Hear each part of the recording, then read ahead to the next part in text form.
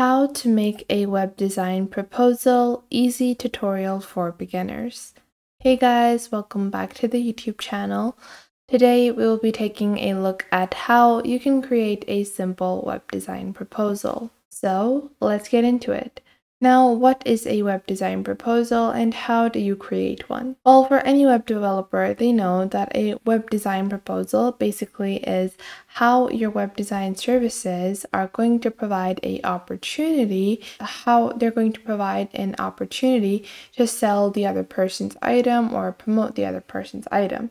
So, a proposal is a detailed summary of what the web design project will entail, and it is basically introduction of your entire business and how you can expand the other person's website or their platform, and what you can do for the client and how you will help them in their business. Now, a proposal also has information like how you will solve their problem and usually the price of a project is listed in a proposal and the time frame of how soon you can complete the project. So these are just the basic things that are included in any web design proposal. Now, how do you make one effective and how do you make sure that your client is, you know, getting all the information that they need? Well, I have some tips for that, and this is actually from my Evernote that I will link in the description. So you can just use the links in the description as well for some of the templates that I'm going to be showing you guys later on. Now, first off, you need to identify the problem that needs solving. You don't want to send a proposal to someone that did not ask for it and there being nothing significant of change or of improvement. If you're sending a proposal, make sure to view their business. Let's say, for example, I viewed a e-commerce website and they have amazing products, but their website is lacking in SEO. Their website uh, JavaScript is, you know, all messed up, and you know their website could you really use a redesign.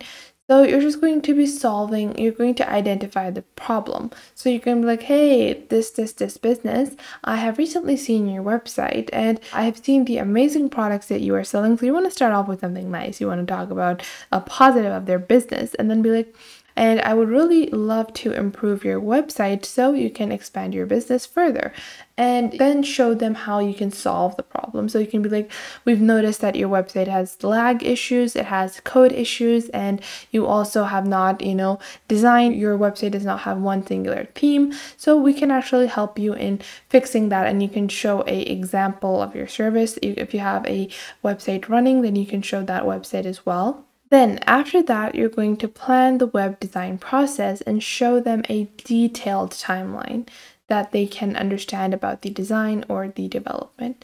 So this will entail a lot of different things. Now this has a lot of detail. You just don't want to go over it. You will first provide them with a questionnaire. That is the first thing that I recommend. So you're going to go to this questionnaire template over here and these are some of the basic questions that you're going to ask them. So you can talk about things like what kind of website do you want your uh, website to look like and how long or how many pages would you want to be designed, how you can improve certain aspects, you're going, to include that. And then you're going to show them a detailed version. So you're going to be like, hey, we're going to revamp your about page, where we're going to redesign this, we're going to add custom logos, we're going to add custom shop buttons, we're going to change the style of the listing, the content boxes will be placed on the right. So all that information needs to be put in a detailed version and then you're going to show that to them. Then you're also going to show any relevant information about your company, so your portfolio, staff, awards, any of that basic information that you might want to display to your client. And then you want to make sure that the proposal includes price and signature. Now, the reason for that is because if you provide a detail, like once you have settled down with the questionnaire, they've answered the questionnaire, and you've sent the final version of your proposal, and you are going to be, you know, you're going into the deal, you're about to say yes to the deal, then you want to make sure that you're getting a e-signature. This is super essential. So if there are any changes later on, then you're going to be able to refer to the initial contract that they signed or the proposal that they signed so they are able to know that okay this is the price that they agreed upon and they will have to pay that price. Now after that you have some basic structural information such as first off whenever you're going to begin your proposal you need to introduce yourself first identify problems then approach how you will fix the problem, the timeline of the actual solution, how step by step you're going to resolve this and how each stage will take process. Then you can show a example and portfolio works, and then you're just going to have your e-signature box and the payment information. Now, after that, you need to make sure that you're realistic in the timelines that you have provided, and it should be, you know, done in a tasteful manner. Now, I have a template over here. So a template should look something like this. This is the first step in which you're going to be like, hey, we actually know you. You're going to talk about your client, the thing that they're selling, the business that they could use improvement on. You want to make sure that the client knows that you have researched their actual business. Then you're going to enter your proposed solution for the problems that you have identified. Then you can see in the third page, you will add the resources or, you know, the timeline of the solution. Then you can see this is the scheduled timeline. So above here, these were just the resources. And this is just like a detailed version of what you're going to do to their website or to their web design.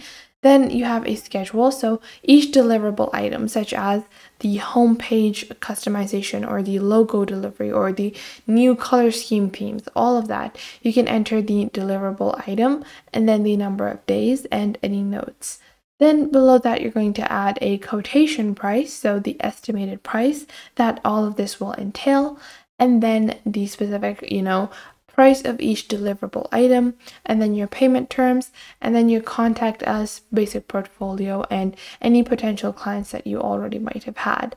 So you can see this is just a simple estimation, a simple sample template that you can get started with.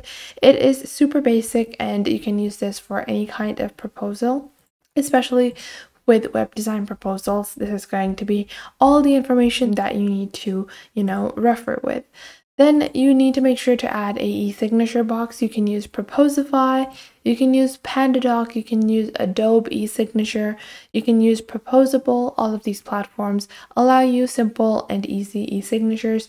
So there are no issues about payment and make sure you have your payment terms, the method of payments, whether or not, you know, they're going to, if they're an international client, then how are you going to get paid? Make sure you have all of that information preset in your proposal. So that was it for today. I hope you guys found this video helpful. Make sure to like this video and subscribe to the YouTube channel and comment down below the best tips and tricks that I have taught you within this video and make sure to also share this video with your your friends and family and to other creators as well so you can help them out as well and to anyone that might need to know this basic detailed platform and how you navigate through these different social websites. So I hope this was helpful enough for you and make sure that you do leave a comment down below if I missed out on anything and if there is anything you would like to add and I will catch you guys in the next video.